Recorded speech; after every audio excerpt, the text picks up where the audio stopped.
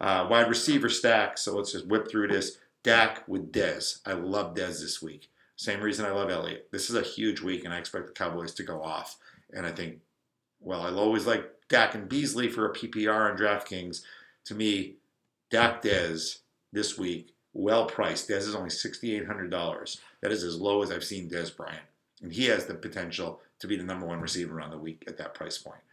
Um, Rivers, we talked about. I like Rivers and Williams. I also like Rivers and Inman.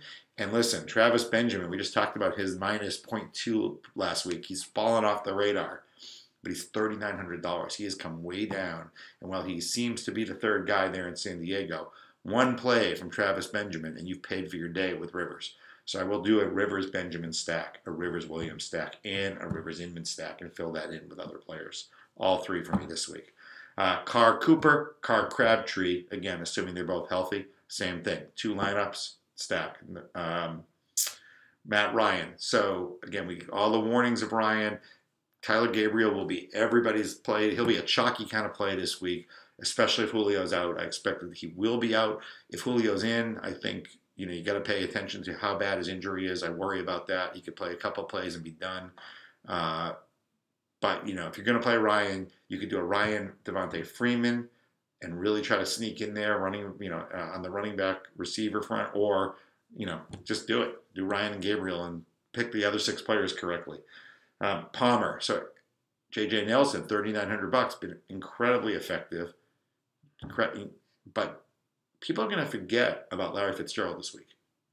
Seven thousand dollars, but Palmer's cheap. So I love Palmer Fitzgerald. Michael Floyd's gone. John Brown's dealing with all kinds of issues medically. And JJ Nelson will be the chalk at 3,900, which means Larry Fitzgerald will be under owned this week and a great stack with Palmer. Uh, let's see, let's see, where else are we here? So we talked about, you know, throwing the dice out there with Bortles, Robinson, Allen Robinson, $4,000 or $4,100 or whatever he's, he's at. It's crazy. Uh, moving on to tight ends. Uh, so a couple other wide receivers first. Uh, you know, I think Tyreek Hill at 5,700 will be absolutely chalk, chalk, chalk this week. So here's an idea. Going to be a lot of passing in that game. Maclin normally has been a six, seven thousand dollar kind of receiver coming back from an injury. Looked healthy last week, 4,700 bucks. So you can make the shift this week. It's still Alex Smith's favorite target. Shift and go Jeremy Maclin in some lineups. I would not stack him with Smith. I would not play Alex Smith, but I would use Jeremy Maclin as a cheap play at $4,700. We talked about Allen Robinson. We talked about Hopkins at 5000 A lot of risk, but a lot of reward in those two guys. And Will Fuller, same thing. Will Fuller all the way down to $4,100. And then the other one I love is Rashad Matthews, Kansas City. Again, not a great pass defense, Rishard Matthews, 4,600 ducks, and he has been in double digits. Double digits on DraftKings, seven of the last nine weeks. He is absolutely the number one or 1A target with Delanie Walker. So those are some running uh, receivers you can fill in with your stacks at pretty good price points, all under $5,000. Maclin, Robinson, Fuller, Hopkins, Matthews, um, Rishard Matthews.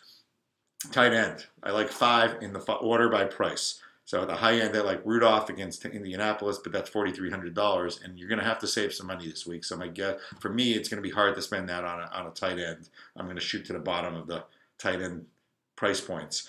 But Delanie Walker, I think he's a great play at thirty nine hundred. Jason Witten, I told you I love everybody on Dallas, thirty four hundred. Hunter Henry, I know you have the Hunter Henry Gates thing, but Hunter Henry has six touchdowns. He's a big play guy. There's going to be a lot of points, as we said in that game. So I love Hunter Henry at 2,900. And if Dwayne Allen is out, you know, and Minnesota really tough uh, to attack, but you can get them with the tight end. I love Jack Doyle, Andrew Luck's favorite target, if Andrew Luck plays at 2,700 and a great place to save money. And on defense, same thing. Three three teams, depending on price point. Again, this week I think you have to pay down at tight end and defense. So I like the Bills at 3,700 against Cleveland. How can you not? Potential blowout, likely a defensive touchdown, but expensive. I like the Ravens in a bounce back game for their defense after the tough Patriots game uh, at 3,100, and the Giants